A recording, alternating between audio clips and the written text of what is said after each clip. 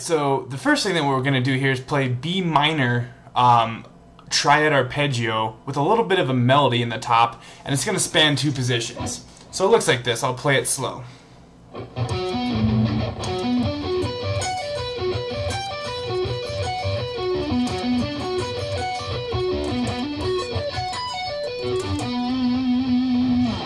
Sped up a little bit.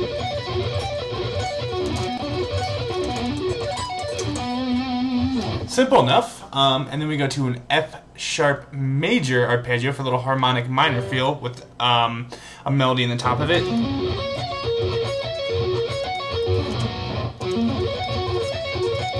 Just like that. And then back to that B minor arpeggio, um, starting from the index finger on the 14th fret. Okay, that's easy. And then I have like a little run that's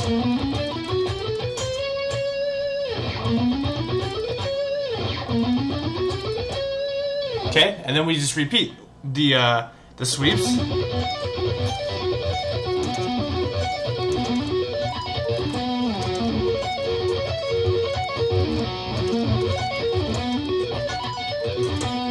Now instead of doing that run again, we just end at the top of that arpeggio.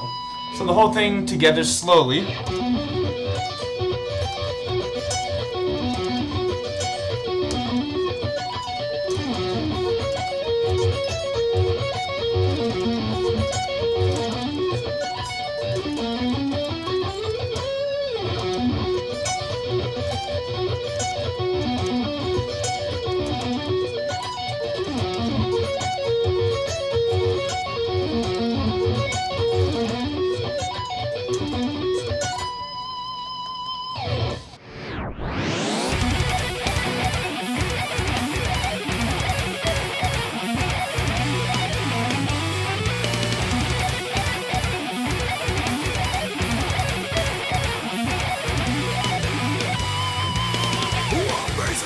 we come